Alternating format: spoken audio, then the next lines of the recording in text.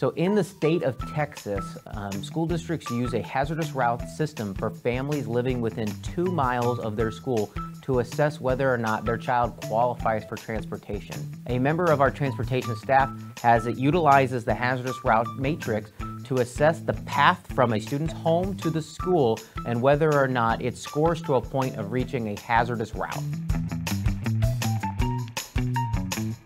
So the net zone is not eligible for transportation and it's for families and students living within two miles of their assigned school.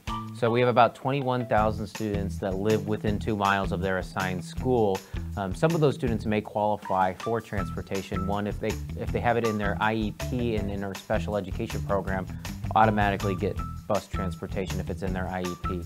Um, the other route for students within two miles to get bus service um, is if their route is scored as hazardous. So their path to school from their home to their school is deemed hazardous based on transportation's hazardous routes scoring mechanism.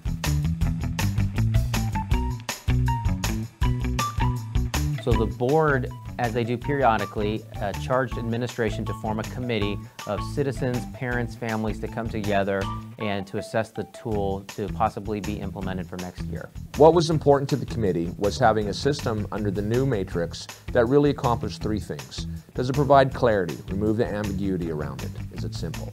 The second thing is, is it repeatable? That is, if I measure it, or if you measure it, do we come up with a very similar scale and score? And the third thing is it defendable? Can we look at each of these items and say to someone that wouldn't be affected directly, does this make sense? Is this really a hazardous condition? And how do we evaluate it?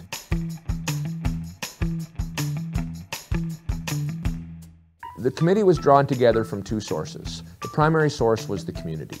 These were all, all of us were members of what's called the District-Wide Education Improvement Council, or DWIC, and we represent different geographical parts of the area. It's parents, it's people who have kids in the district who have a vested interest in making sure these children are arriving safe.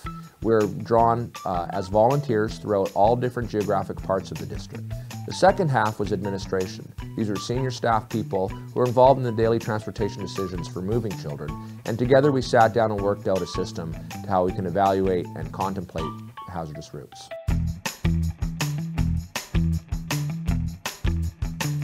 The committee has had an opportunity to have a look at how other districts do it, how we've done it in the past, and make some recommendations of our own. We're now turning to our greater community of Leander School District. Visit www.leanderisd.org slash hazardous routes to leave feedback through our Let's Talk tool. We look forward to hearing your feedback, and we encourage you to come and see our next steps.